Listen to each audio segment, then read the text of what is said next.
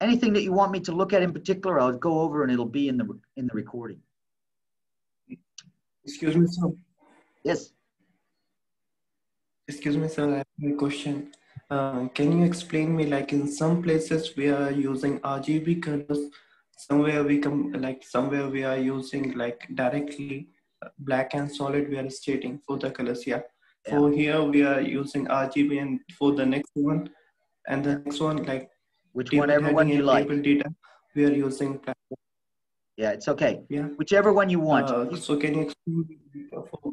All right. So there's multiple ways. Of, how we will do it. It's up to you. I mean, you choose. So what I'm saying is there's multiple ways. Now the problem with the black, white, blue, pink uh, way, and you can do that. We could have just said blue here, right? Um, the problem with that is you got a limited number of number uh, of colors. Uh, if you want to have access to like a palette like this, then you can use a hash or you could use a RGB.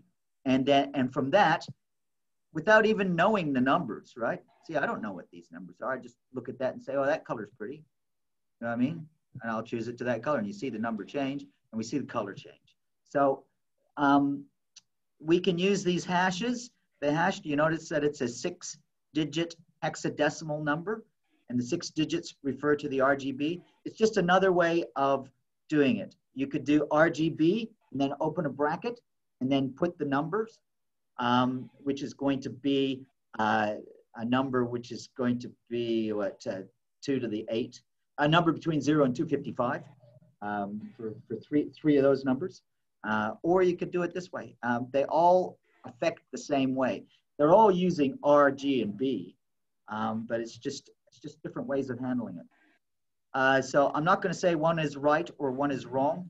You, I'm, I'm expecting you to sort of get comfortable with it and use the one that you like. I hope that answers your question.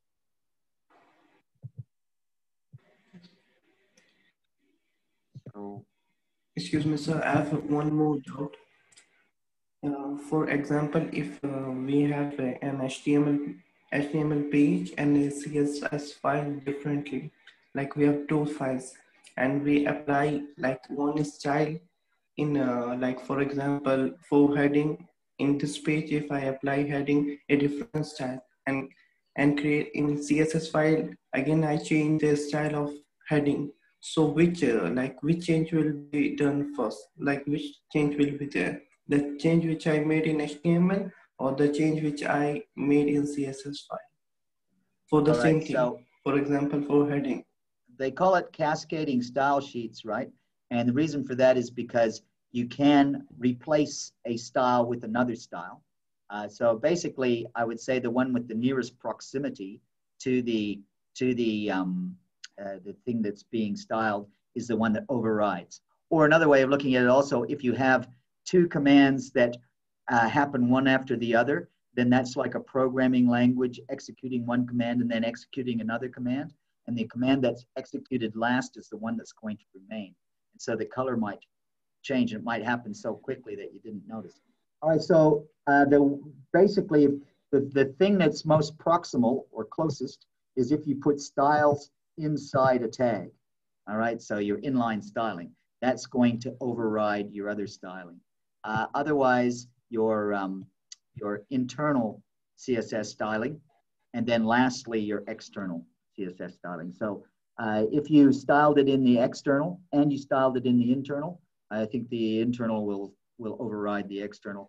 And lastly, the, in, the inline will override the other two because it's closest and last to what you've done. Does that make sense? So, so like uh, Yes. Uh, so the like inline element will be like will be there. Yeah. If I wanted to do inline, can you see I've got the table tag now? And if I started typing style, and, you know, and I could do some things here, right? That would be inline styling. That would override anything that I put in the CSS.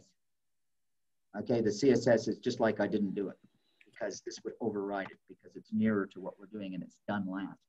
Does that make sense? Yes. I hope, I hope that helps. Uh, any other uh, questions? That was a nice question. Any other questions like that? or, or not like that? Um, have I marked attendance? Let's mark attendance. Let's see who's here. Let's see who cares. Uh, got 19, 19 participants. All right, so let's look at the attendance. Uh, we've got Aisha Muhammad Ashad, Ashad, Ashad, or maybe um, Bushra, always here. Iman, Hamad, Hamdulillah, Hamdulillah, Hamid, Hamdulillah.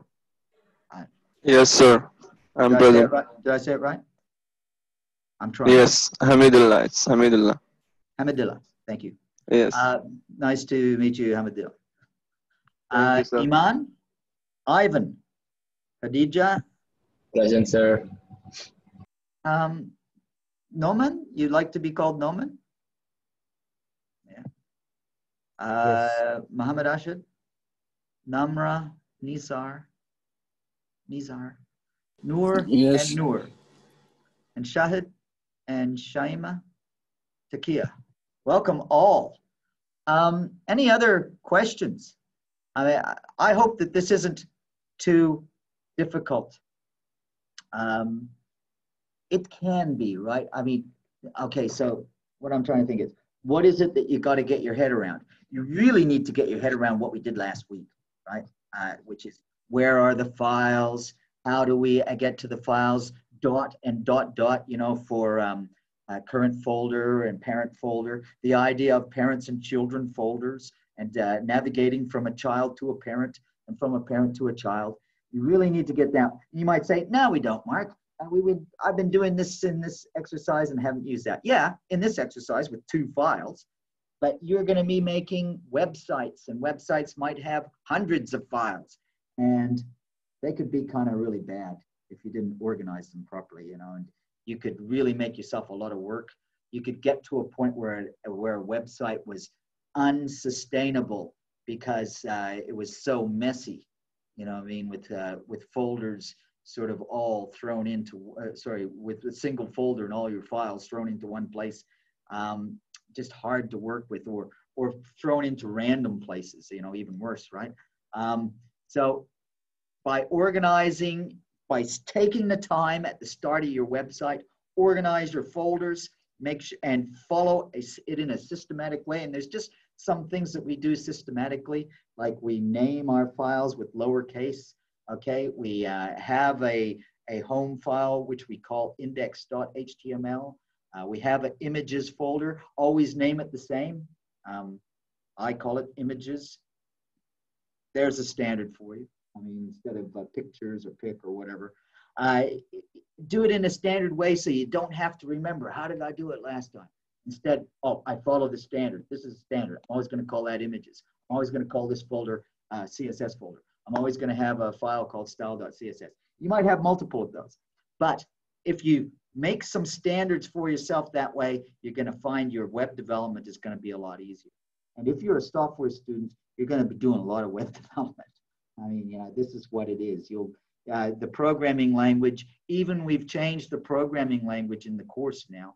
Um, we used to teach Java. Now they're teaching JavaScript instead. JavaScript is going to be code that's going to be embedded into your HTML code.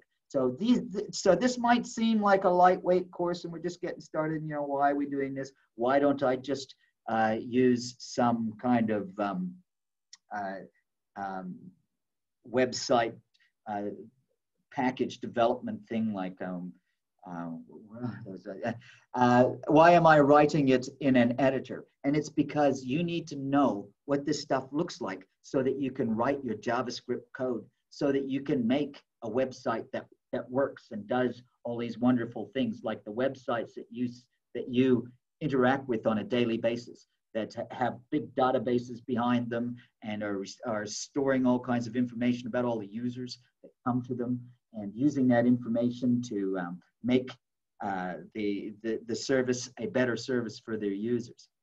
Okay, so that's kind of like, I, I hope I was, didn't sound like I was preaching too much, but uh, I'm just trying to uh, underline the importance of what you're doing here. It, it might seem kind of trivial, but it's really the foundation of what you're going to go on to in your courses. And, and in fact, that's why I've, um, I've uh, been using the Visual Studio Code so that when you go to your course with um, Mr. Doug or Mr. Um, Mr. Robert, uh, where you're going to do your more advanced software, you, you've seen this, you've seen the editor at least. You're using the same editor that they're using. And, um, it'll be a little more seamless for you.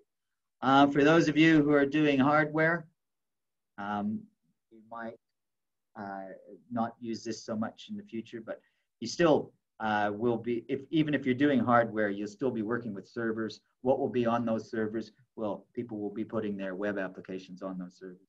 Um, so it would be good if you knew how, how they looked and, and uh, that type of thing. And so that is why we have this course and that's why I, it's so important. And so I really do encourage you to sort of really get into it. Um, but we don't need to arrange our folders for this assignment. That is for uh, there's only two web pages. This assignment, I'm going to let you off on the arranging of the folders. However, if you do decide to, to arrange them, that would be kind of cool if you can make that work. But uh, just to bear in mind that we will be revisiting what we did last week. You absolutely have to be able to arrange things. Not for this assignment. That's a good point.